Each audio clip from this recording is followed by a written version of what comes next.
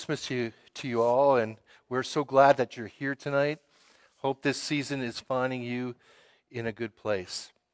You know, one of the things that I did at the early services today is to, to plug our Christmas Eve service a couple times during my message. So I'm going to plug something here. Um, our next series of sermons that we're looking at, starting in January, we have worship here at 10 30 and 8 o'clock, 8 o'clock for the early risers. But we're going to be looking at um, the eternal current. You know, a lot of us stand in the shallow water, never diving in, never really experiencing either faith or even life. Um, we're going to be encouraging and looking at what it means to dive just a little deeper starting in January. So we'd love for you to join us and that again is at 8 o'clock and 10.30. And we're going to take some time right now to sing a Christmas carol. And we're going to sing Joy to the World. If you're able to, stand as we begin our worship together.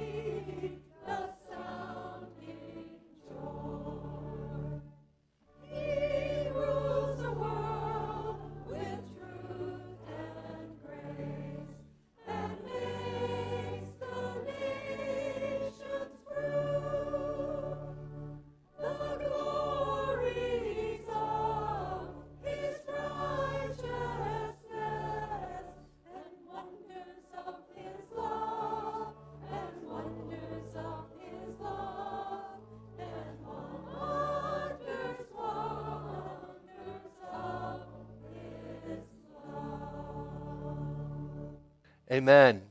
You may be seated. I'm going to ask Don and Judy Miller to come forward and light our Advent candle, and we are going to sing Away in the Manger as they do that.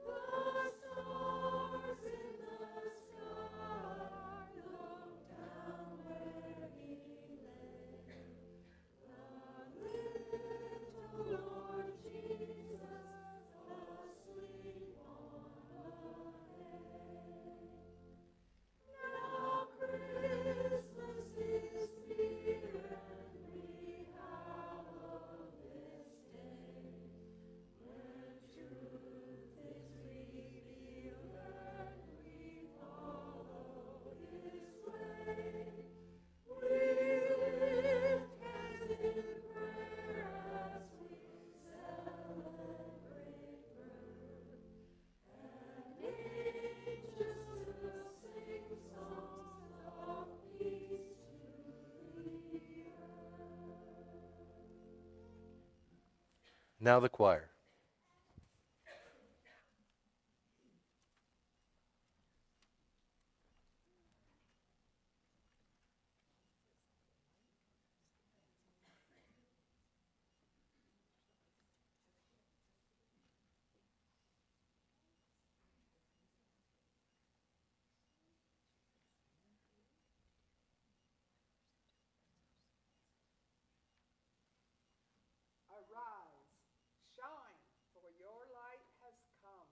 and the glory of the Lord has risen upon you. While you have the light, believe in the light, that you may become children of light. Jesus said,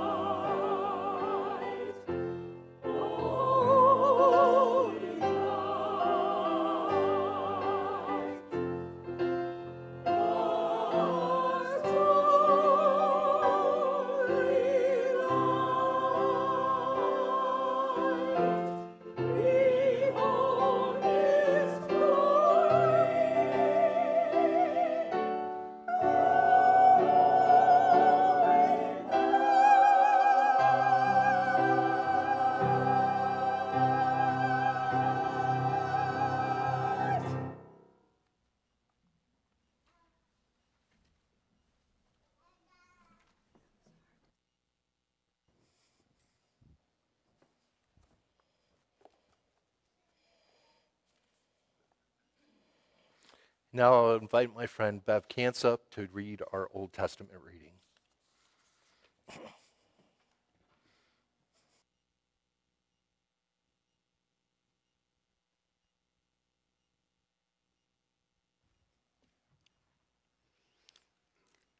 Isaiah 9, 2 through 7. The people walking in darkness have seen a great light. On those living in the land of deep darkness, a light has dawned. You have enlarged the nation and increased their joy. They rejoice before you as people rejoice at the harvest, as warriors rejoice when dividing the plunder. For as in the days of Midian's defeat, you have shattered the yoke that burdens them, the bar across their shoulders, the rod of their oppressors. Every warrior's boot used in battle and every garment rolled in blood will be destined for burning, will be fuel for the fire. For to us a child is born, to us a son is given, and the government will be on his shoulders, and he will be called Wonderful Counselor, Mighty God, Everlasting Father, Prince of Peace. Of the greatness of the government and peace there will be no end. He will reign on David's throne over his kingdom, establishing and upholding it with justice and righteousness from that time on and forever. The zeal of the Lord Almighty will accomplish this. Amen. Word of God for the people of God. Thanks be to God. Let's take some time to pray tonight. Pray with me. Lord God, we thank you for the opportunity to gather to worship. And we lift up our praises. Lord, it's been a busy season, and maybe there's still gifts to be wrapped.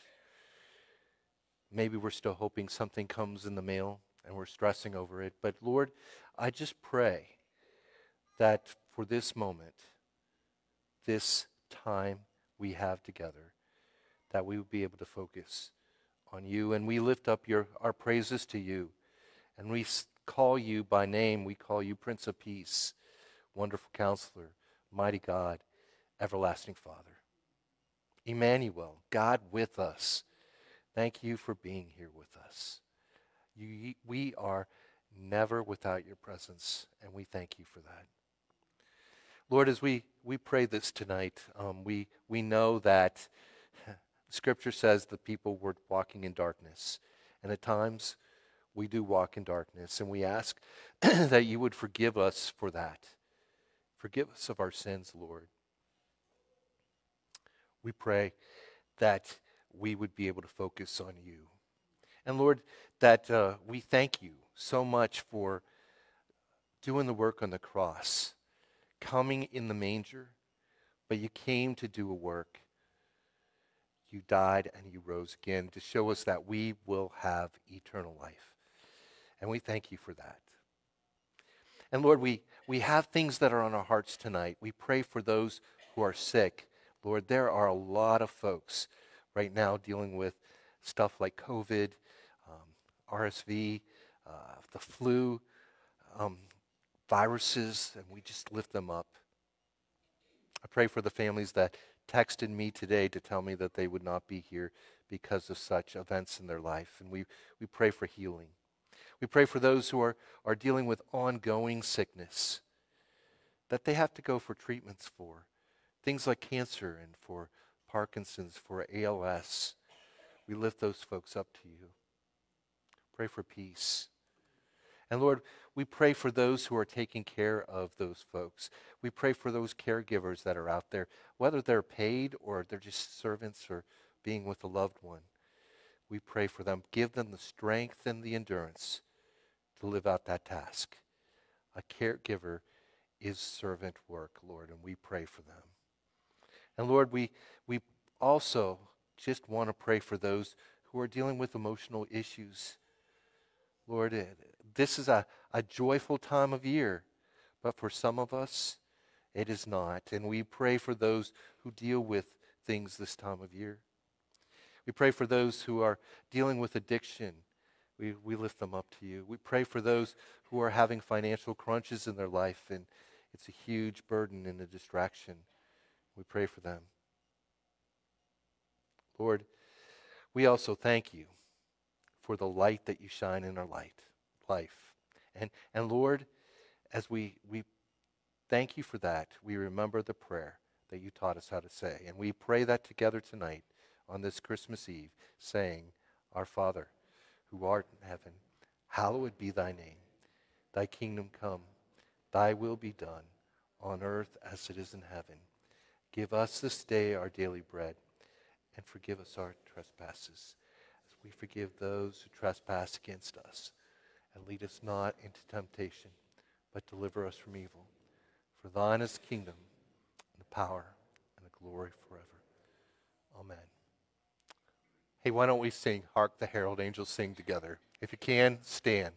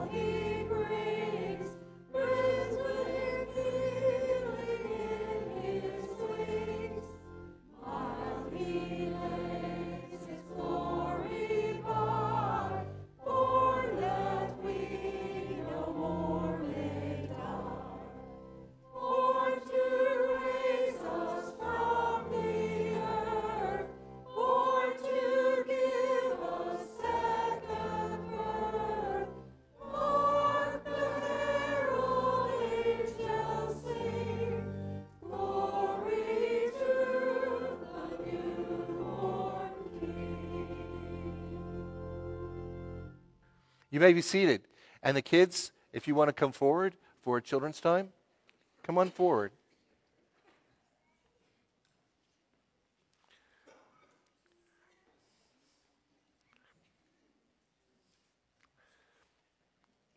We had a bunch at eight. Come on down, guys.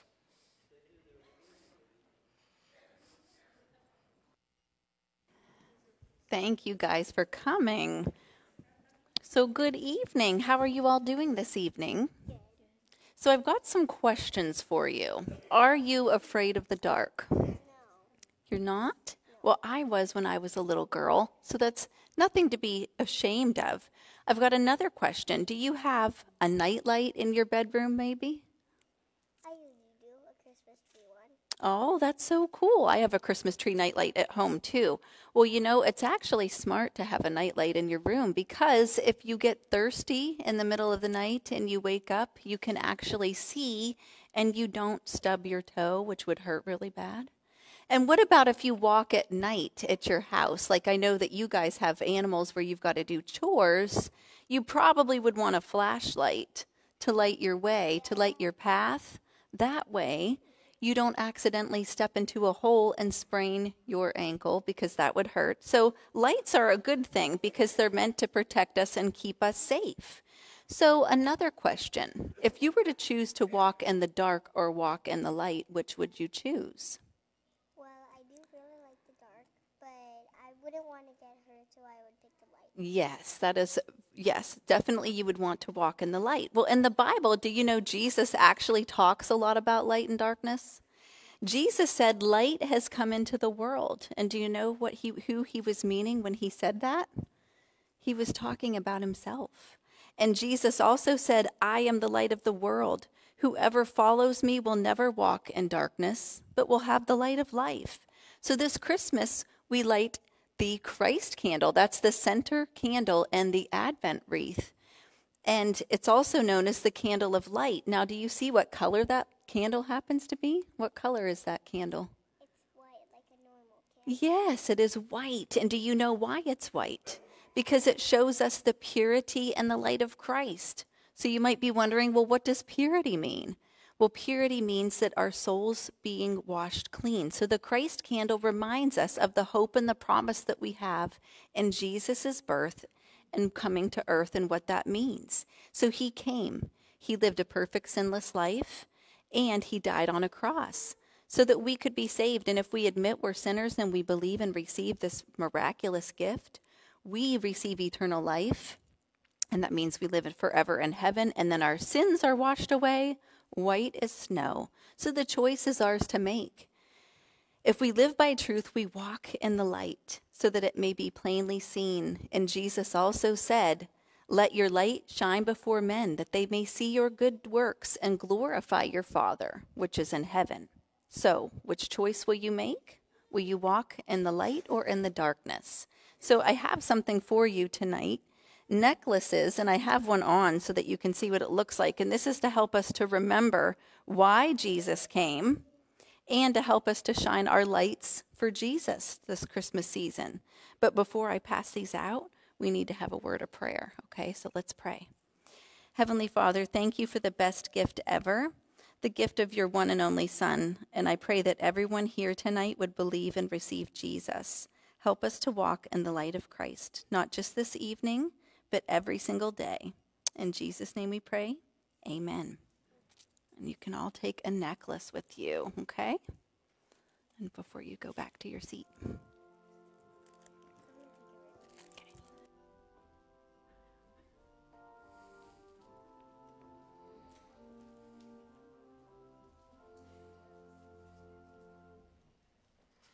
We know that part of the Christmas season is giving, and so and part of worship is giving. And so as we worship tonight and we go through the season, um, let me invite you to be a part of our offering tonight. Our offering is going to go to benefit our food pantry. And one of the things that we're finding out in our community is the numbers in our food pantry are increasing. So um, if you feel called to be a part of that tonight, it would be a blessing for those who receive it. So let's take time to worship and to, to continue to uh, spend some time together this Christmas Eve. And let's lift up our praises to God who has given us so much.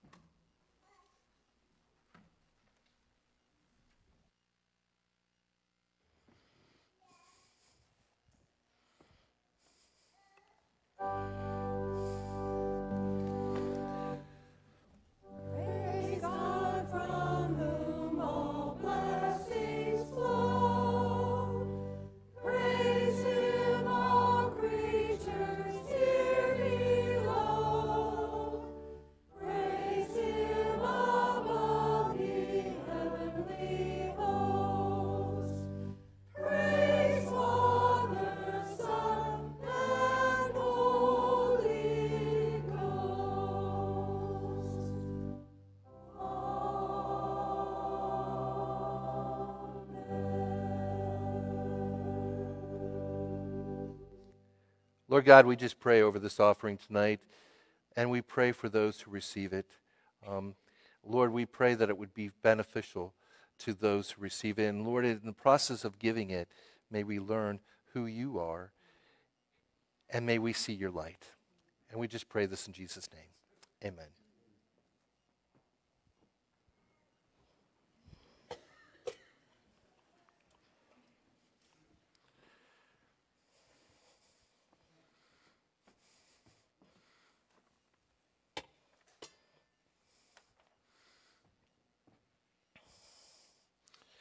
We've been uh, sharing uh, voices during this season of Advent, um, and we're going to have another voice to share with you tonight. But first, we're going to look at our scripture passage. Let's take a moment to pray, and so that we can focus on God's word tonight. Lord God, we just thank you for the opportunity to look at your word, and as we hear a story, maybe we've heard a whole lot of times before, help us help it to shine new light into our life so that we can take your light and give you glory. And we just pray this in your name. Amen. So, this, the gospel reading tonight that we're looking at is from the Gospel of Luke, chapter 2, verses 4 through 7. So, Joseph also went up from the town of Nazareth in Galilee to Judea, to Bethlehem, the town of David, because he belonged to the house of David and the line of David. He went there to register with Mary, who was pledged to be married to him and was expecting a child. And while they were there, the time came for the baby to be born. And she gave birth to her firstborn, a son. She wrapped him in cloths and placed him in a manger because there was no guest room available for them. This is the word of God for the people of God. Thanks be to God. So, we're going to share with you a voice tonight We've been looking at a voice every Sunday during the season, and tonight we, we hit the, the, the last voice that we're going to be listening to. And it is a, a voice of someone who attends our 8 o'clock service, a gentleman named Cooper Lagarde. Take a listen to him tonight.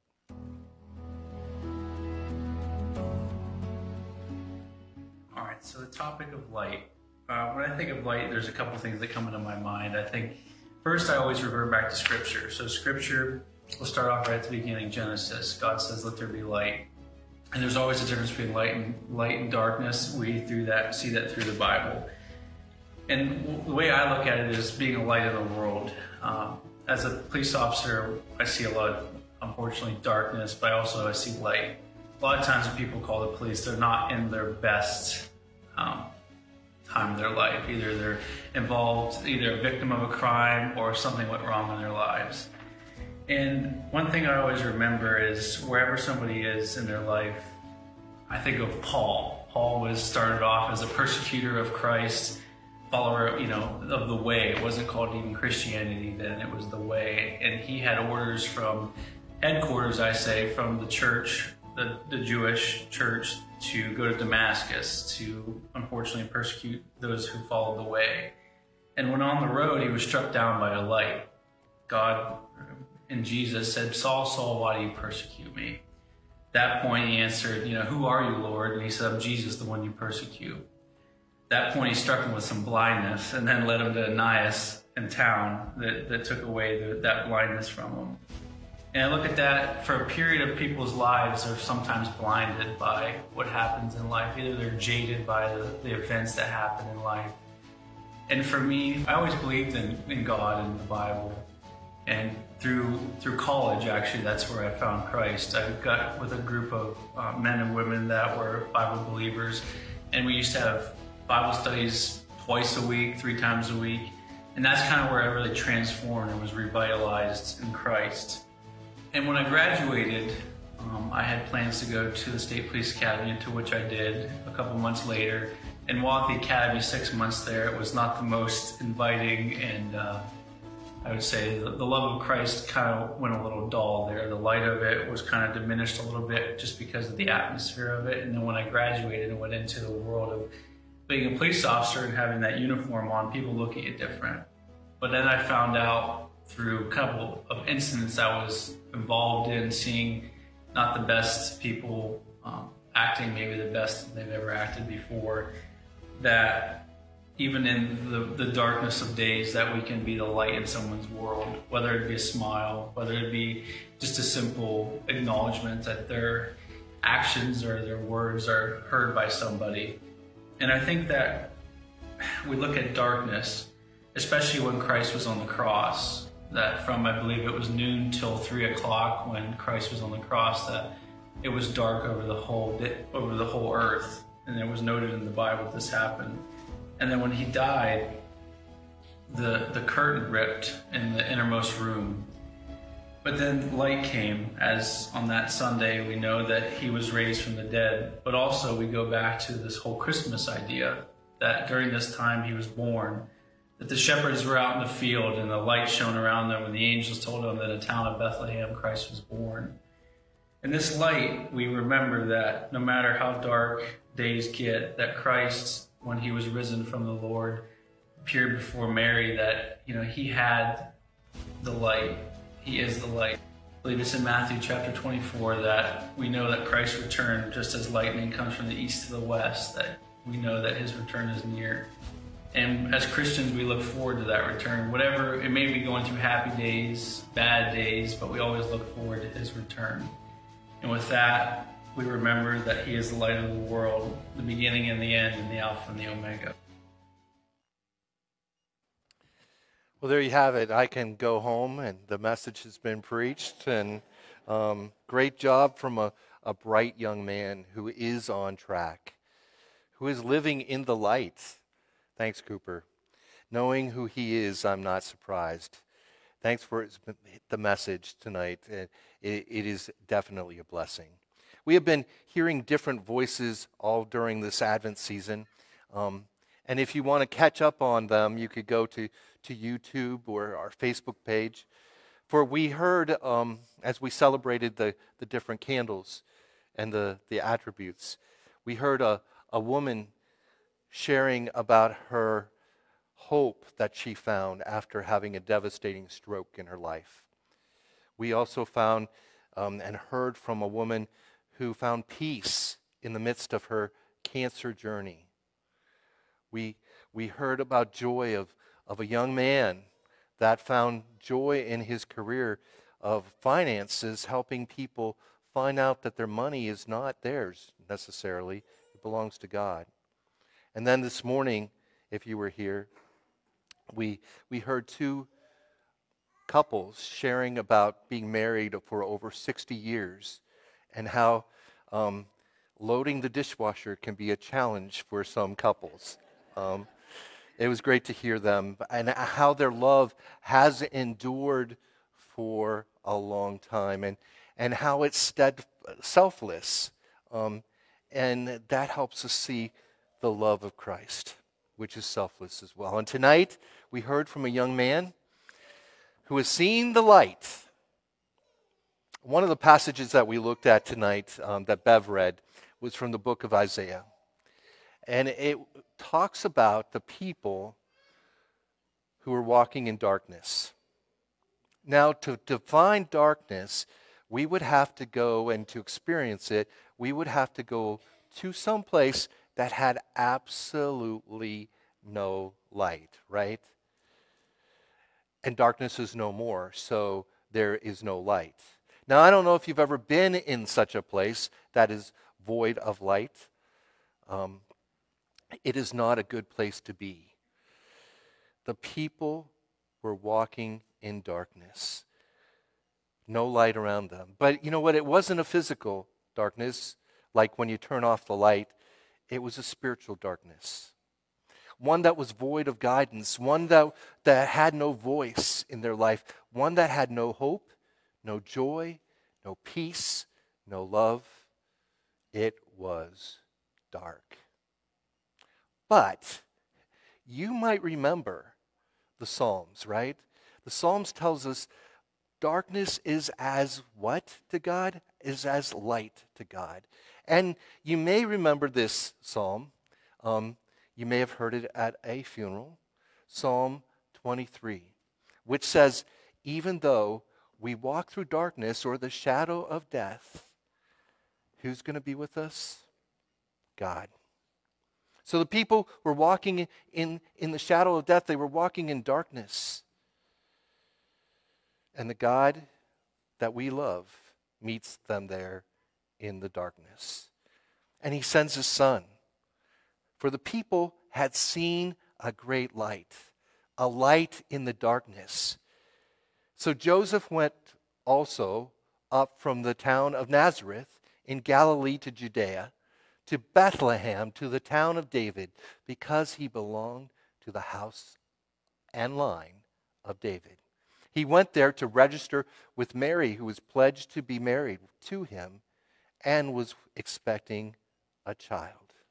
A light would be born to the people walking in darkness, and the government will be on his shoulders, and, and he will be called Wonderful Counselor, Mighty God, Everlasting Father, Prince of Peace. Of the greatness of his government and peace, there will be no end. These people were distracted by the issues of their time. And some of these people, shepherds, were living out in, in the fields nearby, keeping watch over their flocks at night. And an angel of the Lord appeared to them, and the glory of the Lord shone around them. And they were terrified. But the angel said to them, Do not be afraid. I bring you good news that will cause great joy for all the people. Today, in the town of David, a Savior has been born to you. He is the Messiah, the Lord. And this will be a sign to you. You will find a baby wrapped in cloths and lying in a manger. The true light that gives light to everyone was coming into their world. Their darkness, their distraction, their hopelessness was going to be interrupted. This is the biblical story. If, you, if you've been to a Christmas Eve service and if you studied the Gospels, you probably have read it or heard it. And suddenly, a great company of the heavenly host appeared with the angels, praising God and saying, Glory to God in the highest heaven, and on earth peace to those on whom his favor rests. And when the angels had left them and gone into, the, into heaven, the shepherds said to one another, Let's go to Bethlehem and see this thing that has happened, which the, the Lord has told us about. You know, the shepherds had to go to Bethlehem to see this good news, this hope for the hopeless, this light. This is the biblical story. This is our history. But have you noticed? Have you noticed? We hear it time and time again. We know the history. We've read the scripture. but we haven't learned. There are still people walking in darkness. We heard the, the, the, the voice of Cooper tonight, right? We heard from him that he is someone who has seen the light and is someone who is walking in this light. You know, I connect with Cooper's story because it was in college for me, too, that I first saw the light of Christ. But Cooper also, if you heard his story, is a police officer and has seen darkness. So we can see from Cooper's witness and also from what Tiffany said in her children's message that it is a choice to choose this light. And I have to concur with that. Each and every day, there is a choice that I have to make or I need to make. I can live in the light or I can choose darkness. Hopefully, the light in my light, life will overcome any darkness that creeps in because it does creep in and it's ever so subtle sometimes. You know, a good way to know if darkness has entered in is by looking to see if you have the fruit that talks about in Scripture. Do we, do we show kindness? Do we show gentleness? Do we show self control? and you know what? That self control thing is kind of hard this time of year because there's a lot of cookies out there, and some of them are really good. And we're also asked, what makes you happy? What do you want? Self control. How about joy? Do you have joy? Sometimes it's hard to have that joy. You know, this light that we're talking about, it is dramatic and it changes things. I loved that Cooper used the Apostle Paul in what he talks about. Um, we know the Apostle Paul was in a really dark place. He was killing Christians, he was persecuting, and he was a person that was walking in darkness. And on his way to, to go to persecute even more Christians, he has this encounter with an incredibly bright light. In fact, it was so bright that it blinded him, which it probably needed to do because Paul was a pretty determined man. But after this, after he sees the light, which is an encounter with the risen Jesus, he is changed.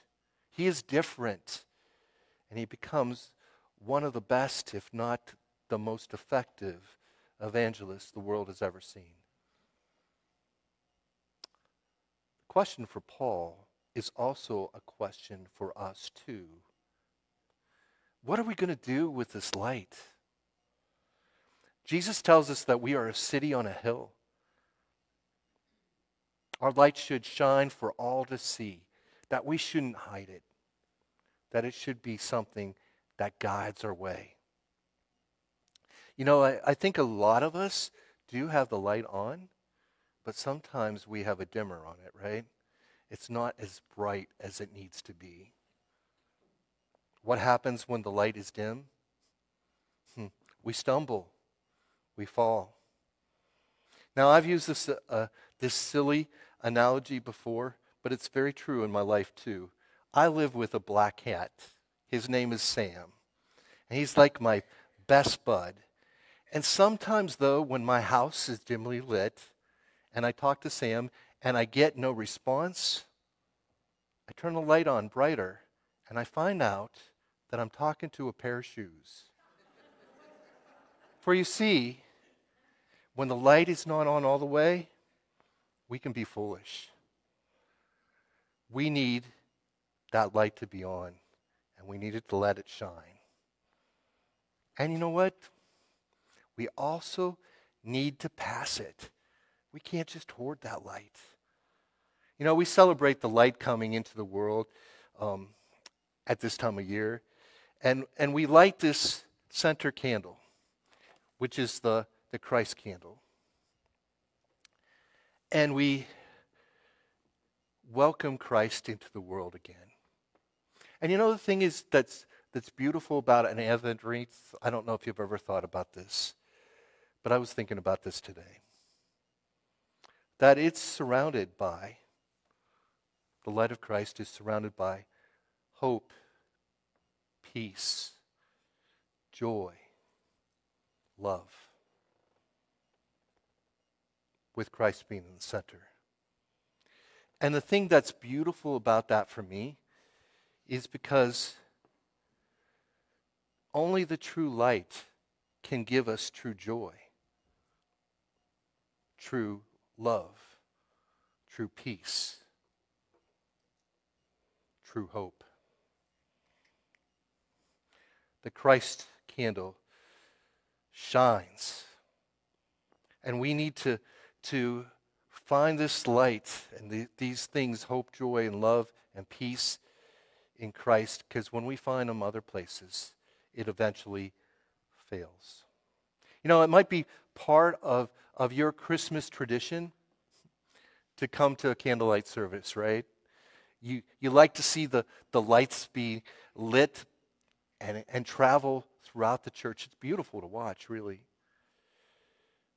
One time I watched a service from another church, and you could see from above, and you could just see the light going through the sanctuary. It was beautiful. You might like to hold on to the candle and feel the wax dripping on your fingers, and then when you get home, you peel the wax off. But I want you to do something this Christmas. I want you to think about this light. And I want you to think about what it truly means. It means Jesus coming into our life. And you know what? That's good news. But it's also a news to, to call us to, to wake up.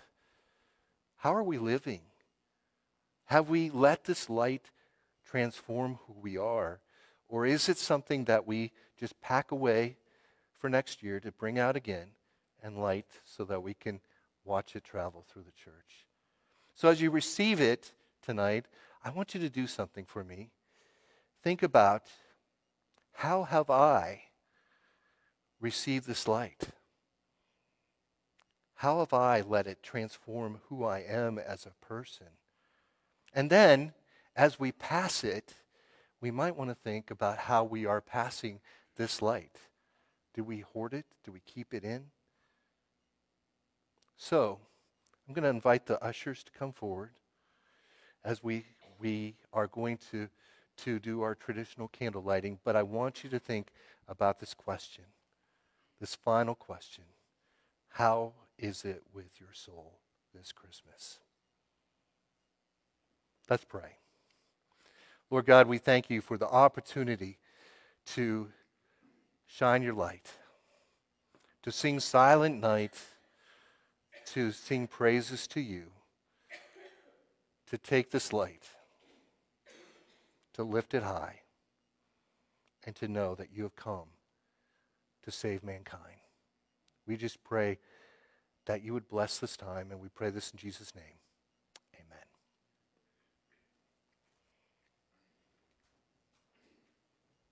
So we take the light, the light of Jesus.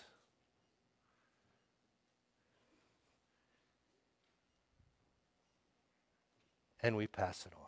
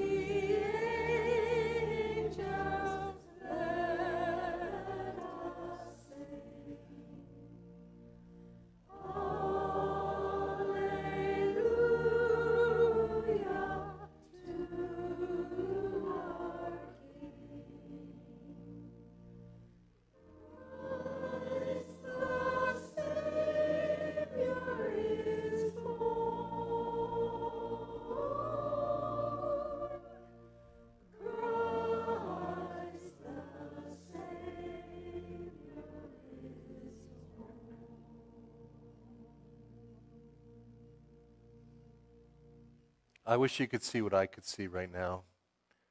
It's beautiful. You all have the love, the light of Christ. And what a glorious sight that is. Let's take this light with us. We have to extinguish it now, but let us take it when we leave this place and let it shine. Merry Christmas to you all, and to all a good night. May the love, the, the grace of Christ, the love of the Father, the work of the Holy Spirit be with you all. Amen.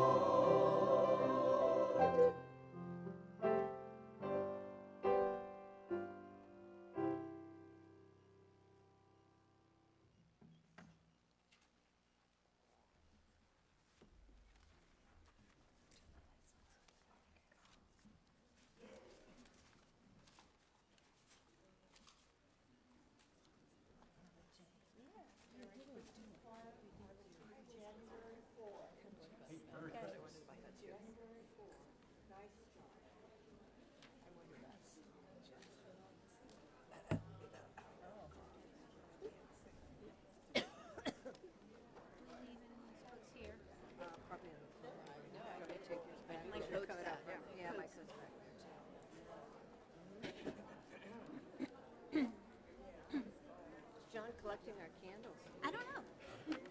You collecting our Were you candles? collecting our candles, John? Is that what you were doing?